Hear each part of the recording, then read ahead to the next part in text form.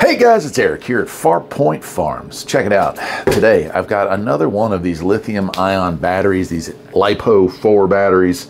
This is a beast, 12 volts, 320 amp hours. Let's go ahead and open it up. I'll show you what you get. The company's name is Humasync or HomeSync. Um, a little hard to pronounce, no doubt, but it's a beast and it's going to help give us a little extra juice up top. So the uh, battery system I have up there is uh, just a power pack, a very large power pack, but a, a power pack. And what I'm going to do is link this in with it so that as it charges and discharges, it has this relatively massive, and you'll see when I take this thing out here, massive power supply to go with it. There she is. Whoa, is that a big girl? 320 amp hours, 12 volts. Thank the Lord for carrying handles. Now, where could you use this thing? Well, like I said, for me, it's going to power an actual building or help power a building. But for a lot of folks, the main thing would be to replace a series of lead acid batteries that you have in your camper, right? This is going to replace uh, literally uh, three to four bat. Well, actually, let's do some quick math here, okay? So if you have a lead acid battery that's 100 amp hours, you can only draw that battery down 50%. So we can make that a 50 amp hour battery of usable energy. This is a 320 amp hour battery. And with lithium, you can run those babies down to zero, no damage done, bring them all the way back up to 100% charge. So in reality, what you're looking at is six 100 amp hour lead acid batteries, actually like six and a half and it fits in the size of this. Uh, I'm saying this thing is heavy, but it's still less than 100 pounds. A single 100 amp hour lead acid battery usually weighs in around 70 pounds. So you can do some math there. You're probably going to get better fuel mileage as well as having a whole lot more compact unit. In fact, if you were looking to upgrade, you could put two of these babies in the place that six lead acid batteries were in, and you would have, I mean, 12 times the available reserve capacity. You could probably run an air conditioner for half a day off of that at least a mobile unit anyway. Other places, and uh, and this, I'm going to be honest with you guys, I might be double dipping a bit. I don't want to give away my spring project ideas here, but this is also, it's got a little picture of a boat. Uh, think about the amount of runtime you could get out of a trolling motor with one of these things. Again, the equivalent of 600 amp hour 12 volt deep cell batteries. That's uh, a whole day on the lake and then some. Now I don't have a boat right now. I had a little boat one uh, that I traded. Uh, somebody traded for me for some work that I did. It was not the boat for me. It was a nice Boston whaler. Here's a picture of it, uh, and it was okay. I mean, it was rough as all could be, but I couldn't get a title for it, and it was just such a pain, so I got rid of it. What I'm thinking, however, is a nice 14 foot John boat might be in my future. So I can go fishing at one of the lakes nearby, and I don't care about you know going fast or anything like that. But a nice, maybe a 40 pound thrust electric motor and this would get me all over that lake. So I could double dip and I could do it for free because if you hook this thing up to the solar array, which I have that charges it, I'm not paying for the electricity at all. A free full day on the lake. That sounds good to me. And of course, the last thing it's talking about solar. This could be added to a 12 volt solar setup, conventional or a power pack like the one I'm going to be using or it could be the basis of a whole new setup. A lot of people like uh, slide-in campers, stuff like that. This would be overkill, but awesome for it.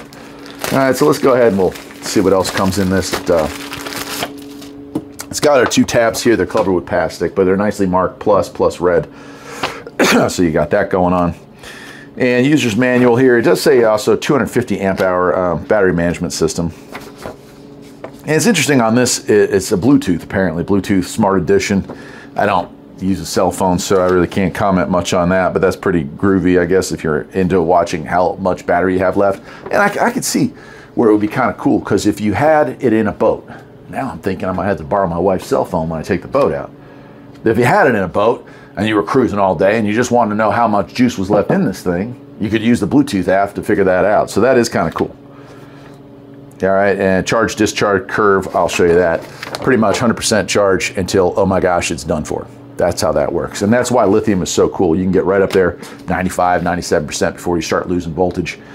And you can run it all the way down to nothing and she'll come right back with a good charge.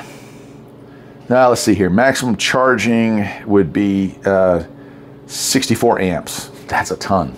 That's plenty.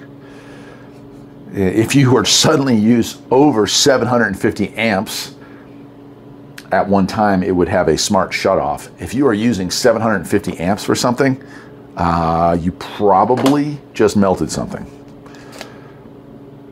It weighs 59.75 pounds, so that's not bad. It was lighter than I thought it was. I thought it weighed about 70, but it, it, it's lighter than that.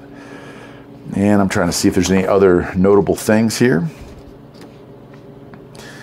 Uh, charging protection come, kicks in after 23 degrees Fahrenheit. So it will charge under freezing, but not a whole lot under freezing. 12.8 is the volts, obviously. And that's about it. Okay, so it says here to charge this beast. At 20 amps, it's going to take five hours to charge it. I want to make sure I'm getting the right one because they do have several in here. Yeah. Um, oh, at 20 amps, it takes a 16 hours to charge this. At 50 amps, 6.4 hours to charge it. So um, a, a, day, a day of full sunlight with my solar array that I have up top there will charge this thing up. So that's that's about what you'd expect, and that's from dead, like zero, not half charged like it normally would be. Yeah, uh, it also talks about this, and you can check these things up. This is important if you're going to add to your system uh, parallel and series, parallel and series, parallel or series, series or parallel. There's a lot of different ways you can hook these things up to get the desired voltage or amp hours you need. Obviously, we can go totally uh, four in a row. In parallel, uh, we can get four to equal 48 volts, and, and then you can do parallel and series, so you could have 48 volts. If you got four of these, you got your 48 volts at uh, two, 320 amp hours, but then you could add four banks of those as well. You end up with a huge system, like Tesla-sized power bank right there. Uh, and it's just saying, um, not to use it for starting a gasoline engine makes sense. Lithium is not really designed for that. But solar energy, home storage, off-grid system storage, industrial battery solutions. I know a lot of people are using these now for uh, like uh, electric uh, golf carts and electric uh, forklifts, things like that. RVs, obviously, boat electronics, trolling motors, golf carts again, and nautical emergency backup. Only thing I would be worried about that is you don't want to get these things submersed. If water were to get in there, you could end up with a short. That could be kind of a bad thing if you were out on the open ocean, obviously on a small lake or pond like I'm going to be fishing, not much of a concern. Then it talks about storing. It loses less than 3% of capacity per month. So, and it also says, hey, try to have it above a 50% charge when you go ahead and set that thing into storage. So like here, this time of year, and I'm making this video uh, first week of January, um, you've got the temperature so low in the, at night that we can't have our solar operating unless there's heat applied to it. So I usually just cut the solar off and the main system that we have and just run the emergency stuff when needed. But so uh, obviously they have a full charge. Now for me, you know, you'll have a day in January, you'll have a day in February, and, and you'll have a couple days in March where temperatures are going to hit 60 degrees. matter of fact, today is, uh, is even though it's January, it's pretty cold yesterday, but today is like 50 right? So I can click the solar back on, put a charge on these batteries so that they store well while, you know, while sitting until I'm ready to use them again. Usually for me, second week of March, solar comes back on. We run it again until about the first week of December, and then we have to shut things down or we have to apply heat to it, which is, eh, I'm working on a newer system for that. Anyway, kind of a rambling video, as always with Farpoint Farms. Let's face it, I, I really never get to the point, do I? I'll leave a link to where you can get one of these things, and I will see you next time. Take care.